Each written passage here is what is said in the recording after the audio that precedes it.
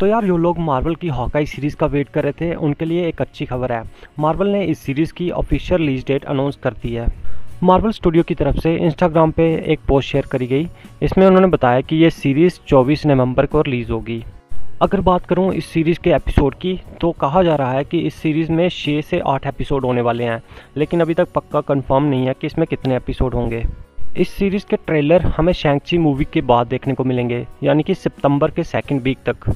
बात करूँ इसके हिंदी डबिंग की तो मार्वल का हर शो हिंदी में डब होके आता है। तो ये शो भी हिंदी में डब होके आएगा। शो में हमें जैरमी रनर का हॉकाई केड बिशप इको दिखने वाली है। और साथ में इसके विलन के रूप में हमें येलिना वेलोवा की ब्लैक विडो दिखेगी। साथ में र्यूमर्स है कि इसमें हमें किंग पिन और चार्ली कॉक्स का डेड डेविल भी दिख सकता है। और आज की वीडियो में इतना ही। शो से रिलेटेड कुछ और अपडेट्स आती हैं तो आपको बता दूँगा। वीडियो अच्छा लगा हो तो लाइक करें और ऐसी अपडेट के लिए चैनल को सब्सक्राइब करें।